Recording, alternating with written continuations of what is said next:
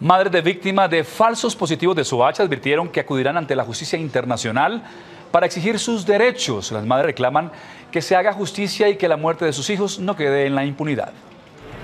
Más de siete años reclamando justicia llevan las madres de los jóvenes de Soacha que fueron asesinados en los llamados falsos positivos.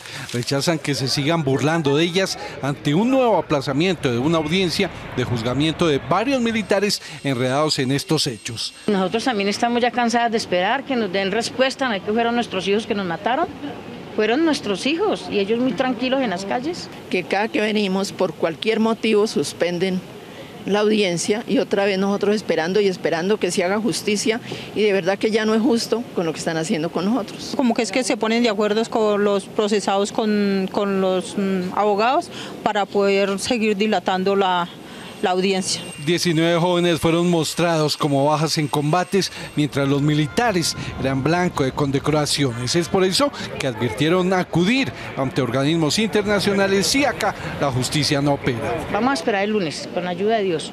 Si el lunes nos la plaza, acudimos internacionalmente porque nosotros somos una organización y nos tienen que escuchar. Tener paciencia de aquí al lunes, si de aquí al lunes eh, no, no, no, sale la, la, la, audiencia adelante, entonces ahí sí ya va, miramos a ver si hacemos un revolcón o cualquier cosa. Ahora que se habla de paz y de acabar con el fin de la guerra, ellos claman porque los militares responsables de estas muertes paguen castigo por sus actos. Ya estamos, mejor dicho, enfermas eh, y esperando espere y esperen una, una espera que ya es desesperante, que uno venga, se siente ahí, que al momentico tenga que salir otra vez sin avanzar.